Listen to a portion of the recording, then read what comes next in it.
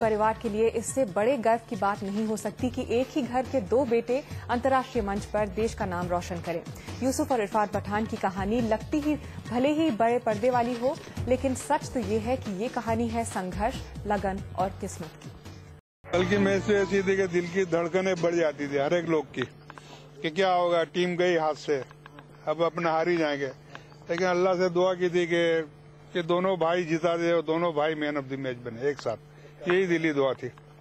और अल्लाह ने वो दुआ सुन ली और दोनों भाइयों ने अच्छा गेम खेले और मैच को जिता दी। मैं दुआ कर रही थी कि मैच जिता दे दोनों और अच्छा परफॉर्मेंस करे और नॉट आउट रहे आखिर में।